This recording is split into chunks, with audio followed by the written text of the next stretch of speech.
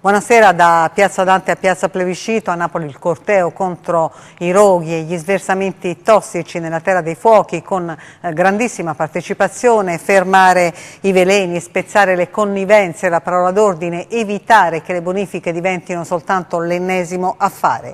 Le voci e le immagini nel servizio di Francesca Ghidini.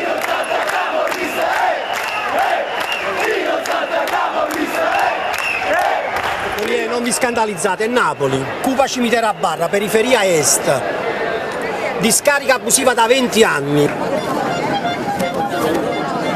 Siamo qui per rappresentare non soltanto i cittadini ma tutti coloro, le vittime eh, dell'inquinamento della Campania e tutti coloro che ancora lottano tra la vita e la morte. Ogni giorno praticamente sappiamo di nuovi malati fra i bambini, di morti quindi siamo stanche speriamo che qualcuno ci ascolti. Noi non ci fermiamo, continuiamo finché non si cominciano con le bonifiche e soprattutto finché non vengono fuori le responsabilità di tutti. A noi non interessano le bonifiche fin quando non c'è controllo del territorio e fin quando le procure non fanno il loro dovere.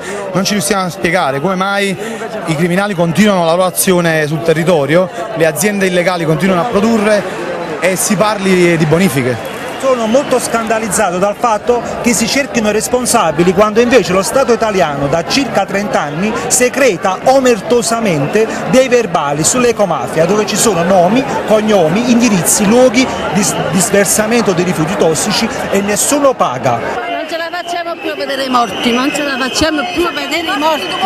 Ci sono tante discariche nel Parco Nazionale del Vesuvio, questo è uno scandalo. Il Vesuvio deve produrre ricchezza perché è una terra bellissima, non deve produrre più morte. Noi siamo qui per la vita, perché i nostri figli, i nostri nipoti possono, avere, possono riavere la Campania un tempo Felix e che lo Stato che ci ha abbandonati risolga insieme a noi.